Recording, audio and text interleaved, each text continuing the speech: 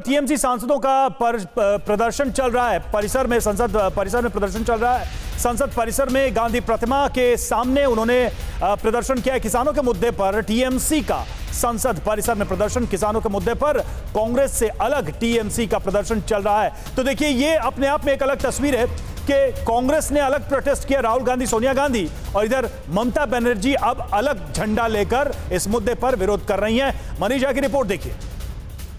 पहले संसद में और अब संसद के बाहर गांधी की प्रतिमा के सामने तृणमूल कांग्रेस के तमाम सांसद जुटे हुए हैं और उनका कहना यह है कि सरकार डर गई है, वो किसानों के मुद्दे पर चर्चा नहीं कर रही है और लगातार सरकार नारे यहाँ पर लगा रहे हैं। इससे पहले इसी जगह पर कांग्रेस खड़े होकर विरोध प्रदर्शन कर रही थी और तृणमूल कांग्रेस के सांसद यहाँ पर अपना विरोध प्रदर्शन कर रहे हैं। मकसद साफ़ है कि मसला भले ही कांग्रेस का हो मसला भले ही किसानों का हो लेकिन कांग्रेस और तृणमूल उसी मुद्दे पर अलग अलग अपना विरोध प्रदर्शन कर रही है और सरकार के खिलाफ नारेबाजी चल रही है। Manish Jha TV nine Bharatvarsh Delhi.